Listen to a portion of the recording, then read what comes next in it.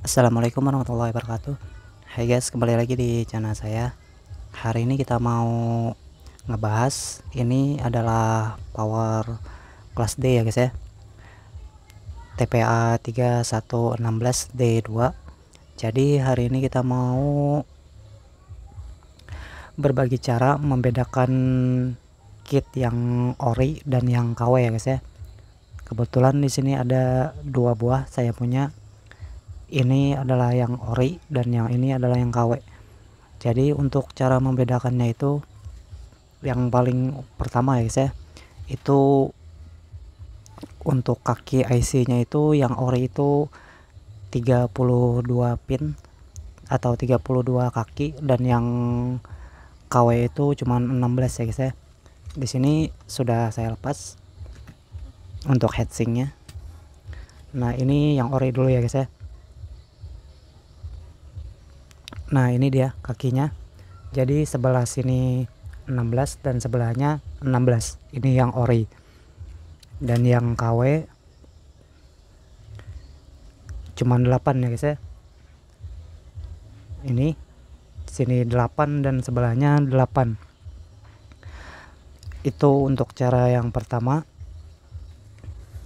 Dan untuk cara yang kedua kalian misal nggak mau lepas untuk headsinknya kalian bisa lihat di bagian belakang.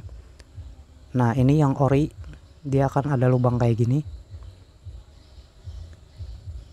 Untuk di bagian IC nya dan yang ini yang KW tidak ada ya guys ya. Cuman kayak gini.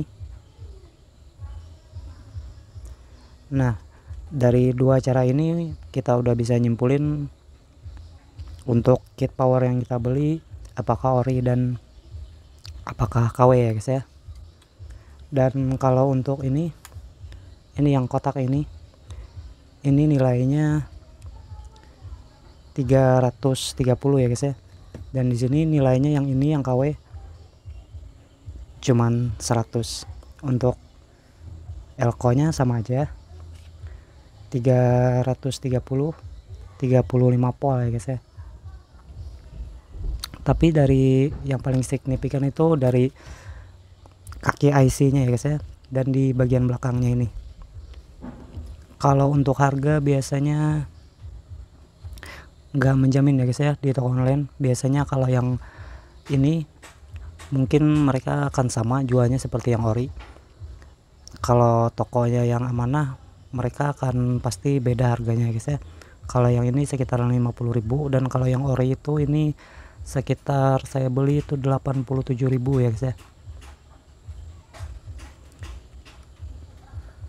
Oke jadi kalau untuk rangkaiannya kalau kalian terlanjur beli yang KW kayak gini untuk tegangannya jangan lebih dari 16 volt ya guys ya. Misal kalau yang yang lebih amannya itu 12 volt cukup. Kalau bisa 12 cok 12 volt aja. Kalau yang ori kayak gini dari 12 volt sampai 24 volt dia masih bagus. Apalagi kalau 24 volt dia bisa maksimal ya guys ya. Oke jadi kurang lebih kayak gitu ya guys ya untuk membedakan kit power class D ini yang ori dan yang KW nya jika ada yang kurang jelas silahkan tanyakan nanti di kolom komentar ya guys ya. Assalamualaikum warahmatullahi wabarakatuh